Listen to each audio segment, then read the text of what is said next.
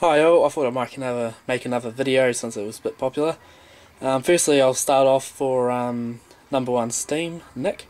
Um, this is sort of what you want for soldering. Um, it's just a simple blowtorch. Um, got off and on. Good flame, nice and hot. Um, you can braze with it as well.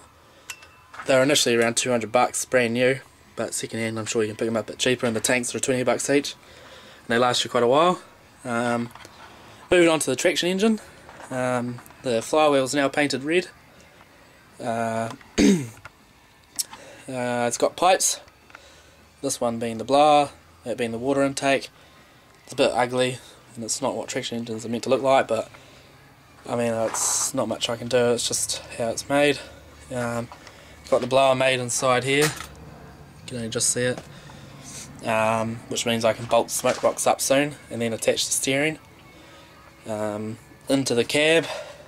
Uh, got the this is the steam blower, um, pressure gauge, fitted a chain. You can sort of see it to the fire door, so it makes it a bit easier to open. And um, I successfully broke the um, sight glass, so I need to go buy another one.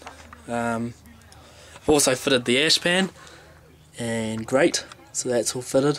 Um, so soon I just need to fit the engine um, and get the engine going and then it should be pretty close to a runner, um, which is quite exciting, so uh, I'm looking forward to it. Hope you're enjoying the Fred so far.